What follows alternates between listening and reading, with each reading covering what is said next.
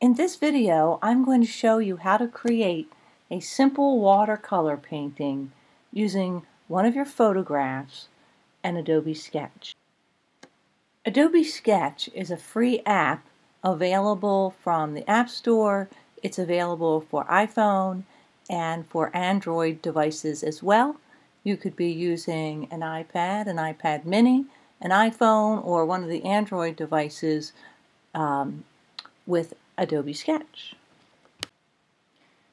So the first thing I want to do is I want to open up a new project and I'm going to do that by touching on that plus sign in the lower right hand corner and then I'm going to choose a format and I like to use the 18 by 24 so when I touch on that it brings up a blank piece of paper. The next thing I'm going to do is I'm going to bring in a photo to use as my basis of this painting. Touch the little plus sign, it brings up the add layer, and I want to choose image layer. And I want to get an image from my phone, so I'm going to touch on my iPhone, wherever your images are in your library. So I'm going to tap on that image and I'm going to bring it into Adobe Sketch on my piece of paper. I'm going to make it a little bit larger by pinching out. And then I'm going to press on Done. And now I want to bring that sketch layer on top of the photo layer.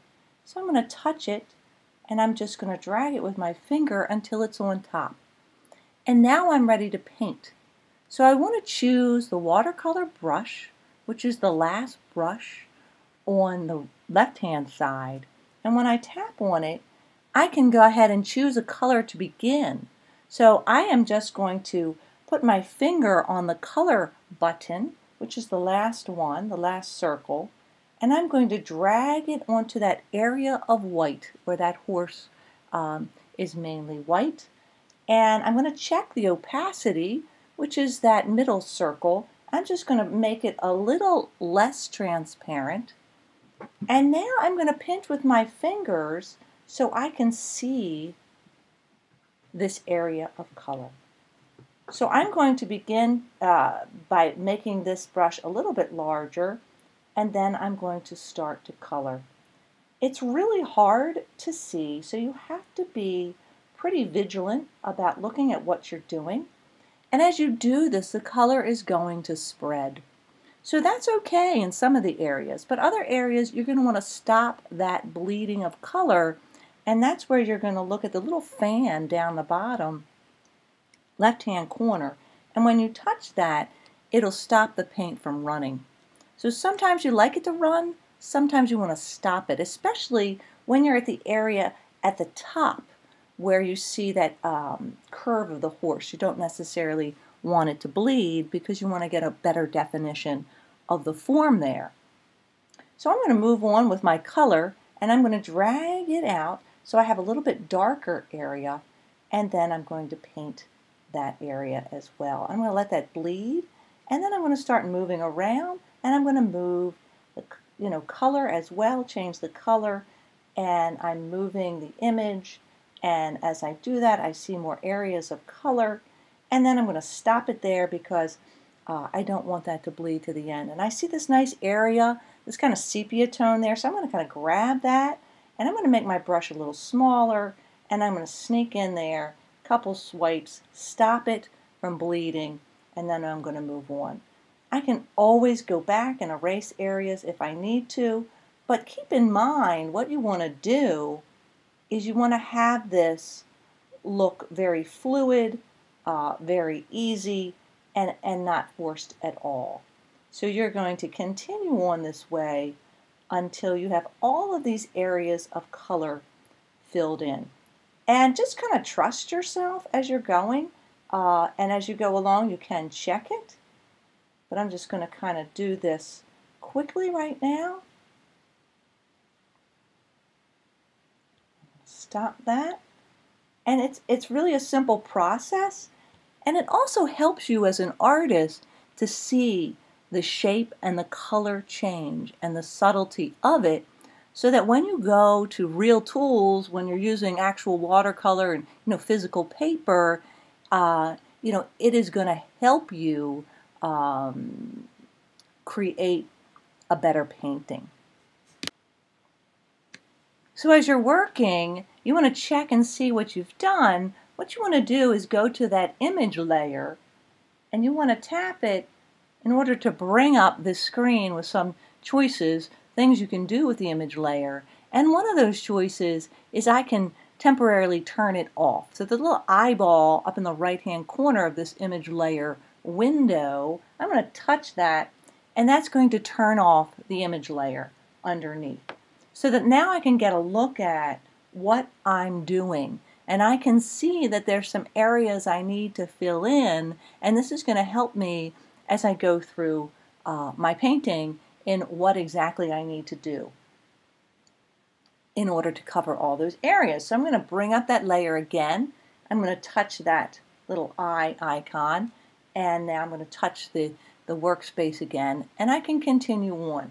And here's what I want you to think about you can see very subtly the difference between the areas you have painted over and the areas that still need paint.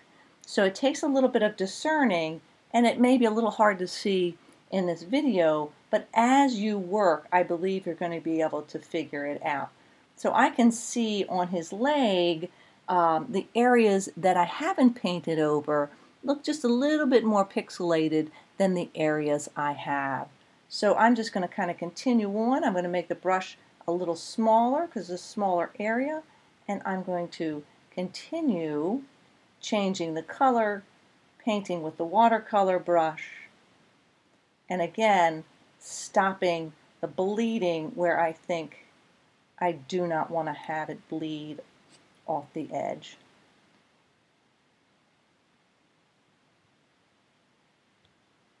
Or you know the edge of the the horse's leg there.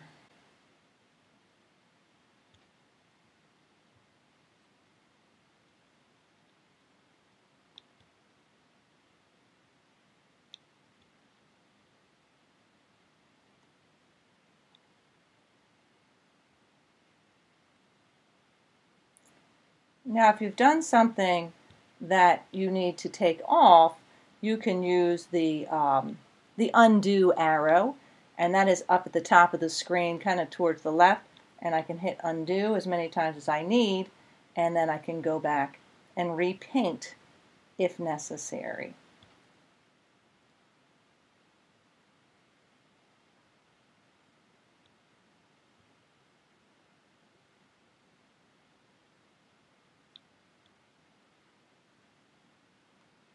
Make the brush smaller as I get into some of these small areas. And then another important thing I want you to think about as you're doing this, and I haven't gotten to this part yet, I haven't done anything with his head, but the very dark areas uh, are, are, are, you know, going to um, make, you know, your image stand out. It's going to give it that little pop. So when you do something like the harness, you want to change the brush to something like this smaller um, this isn't a watercolor brush I think it's kind of like a, a multi-purpose brush. But if I make that small and I come in there I could grab a color but let, let's say I grab this dark color here and then I want to color that in very dark and that's going to make that area pop out especially with the eyes and the hooves um, as you see in the finished painting so let's just take a look at what we have so far. I'm going to turn this off again. And then let's just take a look. And you can see, you know, that part of this is developing. And when you look at the finished piece, um, you can see how I've, I have filled in different areas of color and used some, some darks to kind of finish it off.